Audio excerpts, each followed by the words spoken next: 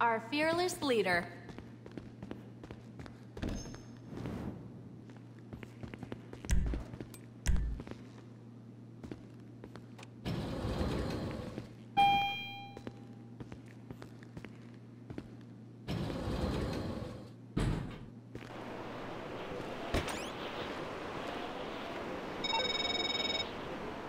They're flying the stuff in right now.